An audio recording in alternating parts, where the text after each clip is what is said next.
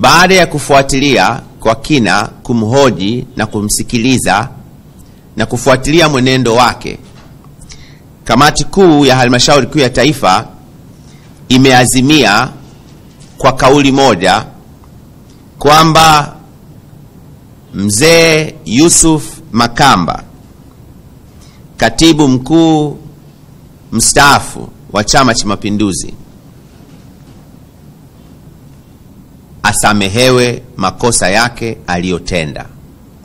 Na kamati kuu imetoa msamaha huu kwa msingi kwamba mzee Yusuf Makamba wakati wote tangu aliposomewa mashtaka yake amekuwa mtu muungwana, amekuwa mtu mnyenyekevu, amekuwa mtu mtii kwa mamlaka ya chama.